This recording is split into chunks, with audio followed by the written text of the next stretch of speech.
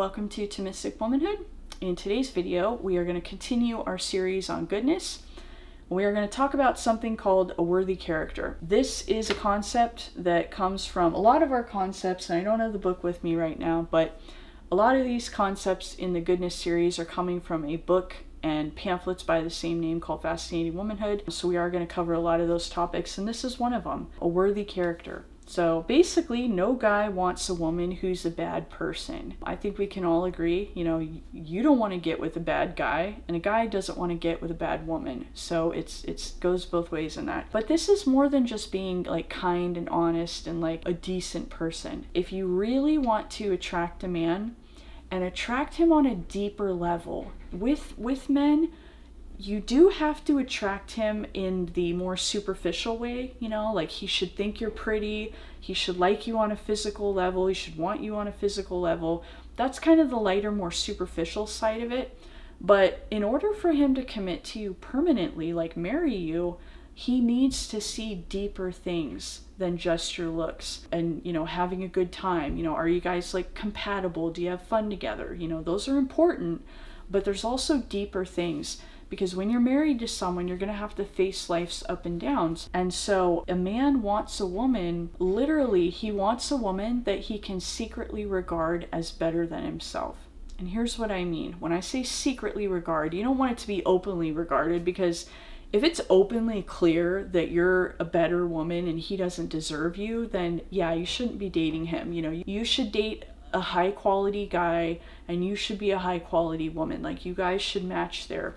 But a man wants to marry a woman that he has kind of like a secret admiration for and that like deep down he kind of suspects she's better than him. You know, he's not going to admit it to other people, but kind of wants to like put her on a pedestal and be able to like really admire her. He wants to see solid virtues in her, good characteristics, good habits. That's all a virtue is. It is literally a good habit. And so we're going to talk about some of the virtues that make up what I mean here. We already talked about one, that's the virtue of like purity, chastity, like not sleeping around. We talked about that in the last video. But we're going to go into the other ones because, again, there has to be something exemplary about you. You know, you can't be nice and sweet and, you know, helpful just like every other woman. There has to be something extraordinary about you. And this is what we're going to talk about here. So, the first virtue that we're going to talk about is kindness, but this is different than just being nice to people. A true kindness has a certain regard for like every person. You are nice to this person regardless of whether they're the waiter, you know, at, at your meal or they're the president, you know. It's like you you are nice to everybody. You don't treat people differently based on how they may treat you, you know, and what you can get out of it. This is also where, like, a lot of gossiping and drama. That's kind of a failure against kindness because, again, a man wants a woman he could admire. And if you're over there telling him, like, yeah, guess what happened to Susie? Her boyfriend dumped her, and I was so glad because she totally had it coming. And da da da da da. Like, a guy's not going to admire you if you're sitting there like gossiping like that. And, you know, there's drama, you know, don't start drama, do mean things to other girls, you know, maybe you know, maybe there's a little envy there that you need to work on, you know, if you want to get rid of some of that like desire for drama and stuff. But again, don't really delight in drama and things like that. This kind of leads us into the next virtue, which is compassion. We're going to do a whole video on compassion. That is a feminine and especially beautiful virtue in a woman compassion. So we're going to go into that in another video but suffice it to say in for the sake of this video compassion and kindness are a little similar. Basically you don't want to delight in the misfortunes of others. A man will not admire you if you're the kind of woman that takes pleasure when other people have bad things happen to them you know? So again you need to get the envy under control. If you find yourself falling into this a lot, if you find yourself having a problem with this, it can be due to envy. And in order to kind of fight that, there's a Catholic saint, his name's St. John Vianney. He says, to get rid of envy, he says, seek to imitate the one you're envious of.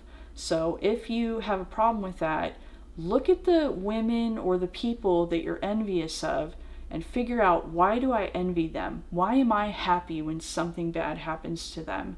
And you can often figure it out. You can go, well, that girl has really beautiful hair and I've always hated how my hair looks. Or that girl always seems to get a good date. I have so much trouble. All the guys I talk to ghost me, and here she just goes on nice date after nice date. You know, I I don't understand, you know? So it can be things like that. And in these examples, well, if that girl has nicer hair than you, what can you do to make your hair better? Can you get like a keratin treatment? Oh, too expensive? Okay. What can you do at home? Maybe do some research. Figure out what's wrong with your hair. Is it curly and you're having problems with frizz? Is it straight and you want it to be curly? Like, look into it and really do some research and fix it. You know, it's not shallow. Oftentimes, we hesitate to fix things that we feel self conscious about because we think it's shallow. It's not shallow, especially if it's making you envious to the point where you're taking pleasure in others' misfortune, then it's not a little thing and it is worth fixing. So there's that, you know, if it's the case of the girl that, you know, she gets all these nice dates and you don't, keep watching this video series. This will help with that. But, you know, look into it. Read books about men. Figure out how they think. Try to understand why these men are not responding to you the way you want them to. Is it a problem with the guy? Are you just not evaluating men properly? You know, are is your filter too loose and maybe you're letting in kind of lousy men? On the other hand, is it something you're doing? You know, are these good men and maybe somehow you're turning them off? It can be a danger to think that it's always your fault. So I don't want you to fall into that when it comes to like dating. But at the same time, I mentioned the book Fascinating Womanhood. That's a good book. Men are from Mars, Women from Venus. That's another good book. And then another good book I recommend, and again, this is another one of those like, if your kid don't read this, why pardon the language, Why Men Love Bitches by Sherry Argov. That is another good book.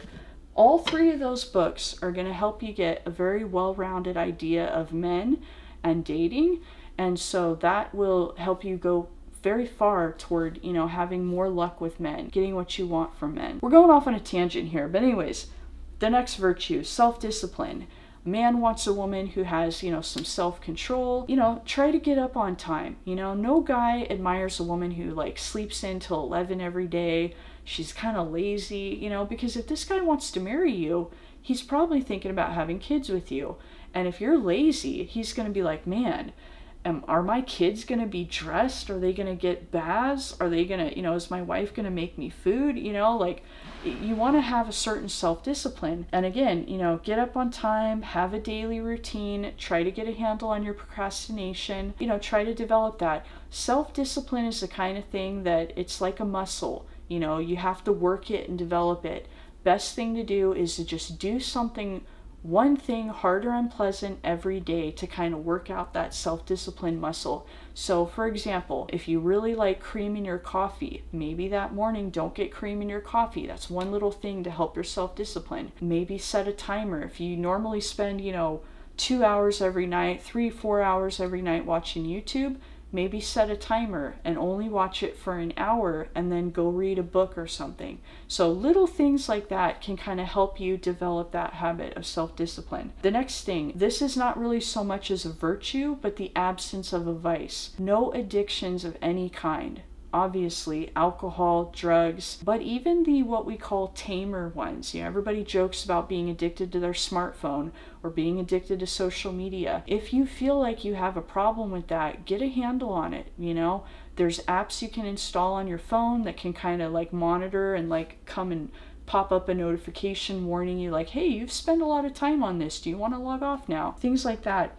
So you want to get that under control. And also, women who are kind of addicted to social media and they're always on Instagram, they're always on Facebook, that's unattractive to men. They don't like women who are addicted to social media. So try to get a handle on that. The next thing, humility. We're going to talk about the balance for that self respect in a few minutes. But on the other hand, you don't want to be arrogant. Feminism, I feel, while it had good parts, in general, modern day feminism has taught women to be kind of arrogant. There is this attitude of, well, men should love me however I am. And, like, I don't know how to say this nicely. We'll have very overweight women kind of obese women, they will often, you know, be angry and demand that men should find them attractive. And, you know, that's arrogance. You know, you have to have a certain humility. You're not going to be everybody's type. Not every guy will be your type. That's the way it is. Going around telling men, you know, oh, I don't need a man. You know, I got my own and I don't need you. That's a little arrogant, you know. Now, you can say that to yourself maybe, but you know, because in a certain extent, the only man we really need is Christ. So, yeah, technically you don't you don't need a man.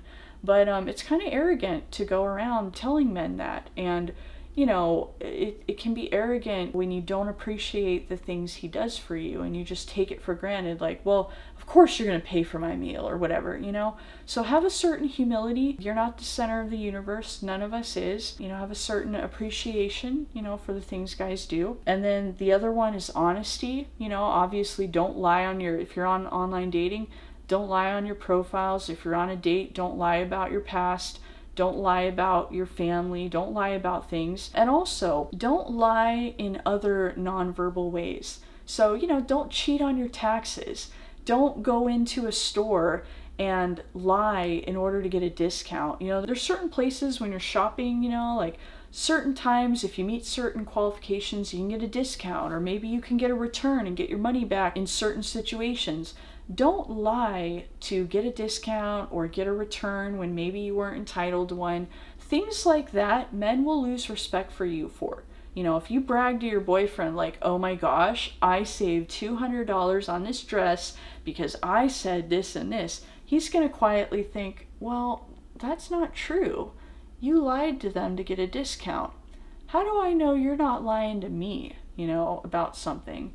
So, honesty, honesty is important. And again, our society is very, we're really into like white lies. We tend to think, oh, it's okay, it's okay to lie, you know, whatever. It's not okay. It's important to tell the truth. Now, if somebody is asking you something that they don't have a right to know, you can tell them I'm not comfortable answering that. Or, you know, it, depending on your relationship, if it's your boyfriend, you can go, that's none of your business. But um, in general, tell the truth, don't lie. The next one, purity, we already talked about that. Patience, patience, you know, you want to you want to accept things. Things don't go your way, be patient about it. Wait for things to happen patience in regards to you know qualities men admire. Patience especially applies when you don't like how fast the relationship's going.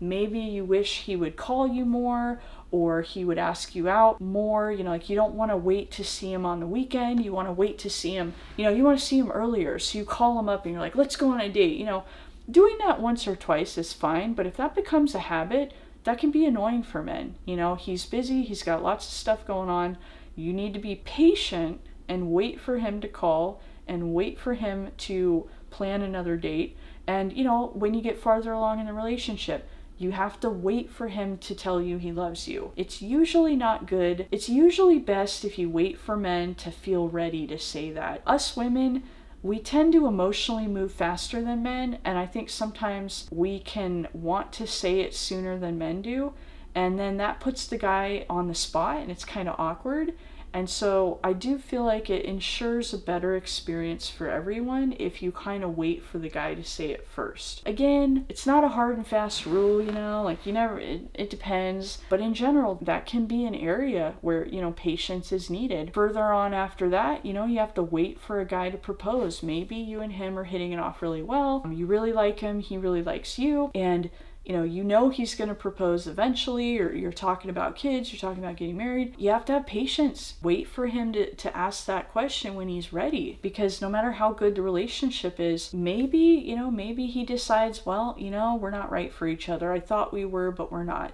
And then he has to break up. There's also a trend nowadays of women asking men, you know, proposing to men, women getting on one knee and proposing to men. That is a massive act of impatience, and that is not good. Again, it puts a guy on the spot, just like if you say, I love you before him, it puts a guy on the spot.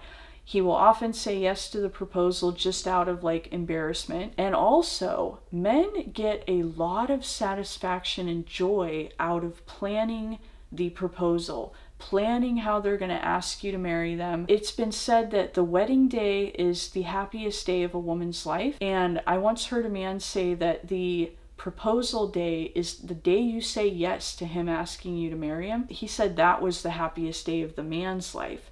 So for the woman, it's the wedding day. For the man, it's the proposal day because he said he's already the most amazing woman in his life has already uh, has just agreed to marry him. That's like the best possible news he could get. So the proposal is a very special thing for a man. So don't rush it. You know, don't nag him or anything like that. You got to be patient. Patience is needed for both genders men have to be patient with the physical aspect and the sex. They have to be, especially if you're saving sex for marriage, you know, men have to be patient and wait to sleep with you. But on the other hand, us women have to be patient and wait for a man to emotionally catch up with us and you know call us when he wants to see us tell us he loves us when he's ready to say that propose to us when he's ready to do that. We have to be patient and wait for the guy to do those, you know, milestones in the relationship because again, just as it's awful to rush a woman into sex, it's awful to rush a man into commitment. You don't want to emotionally rush men. It goes both ways, you know. Um, we always hear about, you know, men that try to rush women into bed, and we all know that's bad. You know, us women instinctively are like, ooh, I would not want to be rushed into sleeping with someone, you know, ooh, no, no. Well, it's the same for men. You know, if you try to emotionally rush them with, you know, too much closeness and too much, you're telling them you love him, you're giving him all these gifts, you're calling him, that, that rushes a man in the same way um, that we talked about for women. And you don't want to do that to them. It's not right. So, anyways, the next one moral courage. You have to stand up for what you believe in if you're thrust in a situation where that is necessary. This is different than what we have nowadays. We have a certain false courage, false moral courage, which is really nothing but virtue signaling. People take it upon themselves and volunteer their opinion on certain hot button issues because they want to look good, they want to reassure themselves that they're a good, virtuous person. And that's not what I'm talking about here. The true moral courage that a man will admire in a woman is when you are taking a stand and it's a difficult stand, you know, you are going to lose something by making that stand, or it's something that you didn't bring, you didn't choose it. You know, you didn't go on Twitter and you chose to say what you think about some, you know, controversial issue. You know, it happened at your workplace. You got put on the spot and you had to stand up for your beliefs, you know, or, you know, you're out with friends and, you know, somebody was ridiculing you about something and you had to stand up for what you believed in, you know? So situations like that, that's what I'm talking about. Not this, not this like moral posturing that we have nowadays, It's like fake courage. That's not what I'm talking about. But the real courage, the real moral courage standing up for what you believe in, even when it costs you something, a man is going to really admire you for that. And that is part of this, like, this good character that I'm talking about. And the last one, self respect. I spoke earlier about humility. You know, you don't want to be arrogant. However, this is the balance to that. You want to have a certain self respect. You want to, you know, you don't let people cut you down. You know, if a man's saying something bad to you, if he tells you you're a prude because you won't sleep with them, you know, you just basically tell him, like, take a hike. It doesn't have to be mean, you know, but you have enough self respect to, you know, stay strong in your beliefs, you know. Now, where does this self respect come from? I'll tell you. It comes from having a clear conscience. You know, if you have been living your life to the best of your ability, and you can look yourself in the mirror every morning and you know be okay with what you see. Uh, if you can sleep well at night um, you didn't do anything horrible that day that's like keeping you up at night you know and you're living your life as best you can you know and you're taking it day by day then that will give you a certain self-respect. You know you will be proud of yourself on some level. You will have peace within yourself because you'll know I am living my life the best way I know how. And people debate about whether, you know, there's a conscience or not, but everybody, regardless, if you study cultures around the world, throughout history, the same main concepts come up. Don't lie, don't steal, don't sleep with somebody else's spouse, don't murder, you know, those are basic things that is it's like written in our psyche not to do. And when we do those things, you know, don't hurt someone, you know, without reason. You know, don't be envious and like hurt another girl just to make yourself feel better. You know, like how often have you maybe spread a rumor about a girl or maybe you borrowed her sweater and you deliberately put a rip in it and then gave it back to her and acted surprised. You know, you wanted to see that sweater be ruined so she couldn't wear it anymore. You know, little petty things like that, those are going to make you, you're going to lose respect for yourself. You know, long before others lose respect for us, we lose it for ourselves first. And this is not talked about, but nobody in the self help industry talks about this. But a lot of what we know as low self esteem is actually a lack of self respect because people are doing things that they know are wrong.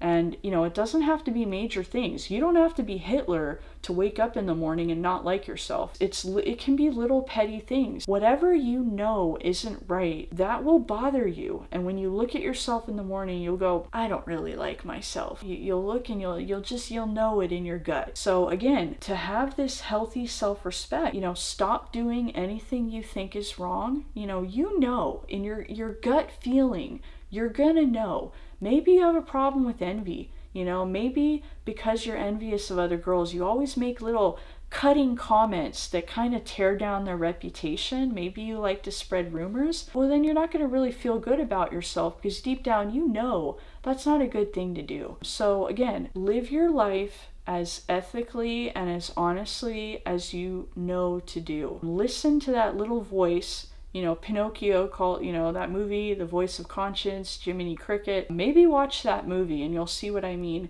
But again, it's not a little cricket, you know, we all have a conscience. Now, our conscience can get warped, especially with the society around us. Your conscience is partly modified. I don't want to say it's created by society. It's not. Conscience is not a social construct. It's written into the heart of man. We are psychologically, by default, we have certain moral principles. However, those principles can be slightly modified by society around us. You know, this is how a lot of our sexual practices, things that used to be considered kind of off, that you still kind of feel a little off about it. You know, that is another thing that our conscience gets.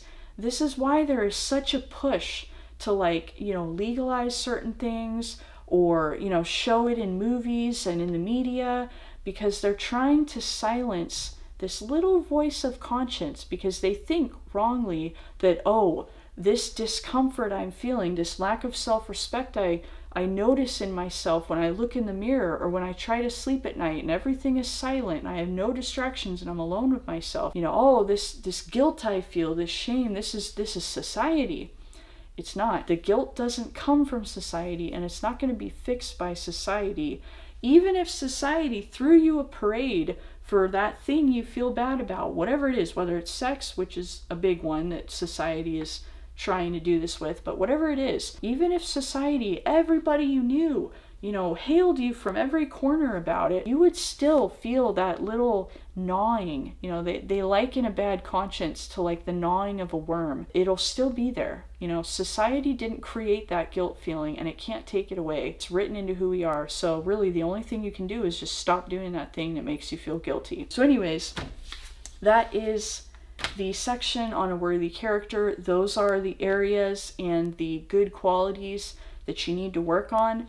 Obviously, you don't have to be perfect. You know, men know that you're going to have a bad day. They know that there will be times where you won't say or do something that was, you know, really the best you could have done. You know, they they know. We all make mistakes and men know that. But in general, these are the the things you want to be aiming for and you want to develop as much of these virtues and as and as to as high a degree as you can you know do your best just do your best. As long as you're a woman that's doing her best to develop these qualities men will overlook the little the little faults here and there. But in general you should be striving for this and men will very deeply admire you for it. And this is one of the big things that makes you wife material. This is what separates you. This is what separates the girlfriends, uh, the girlfriend material from the wife material. Um, a big part of it is this worthy character. A man wants to marry a woman that he can kind of look up to, you know? So, anyways, that is the end of that. I hope that's helpful. If you have any questions, leave a comment, and that's it.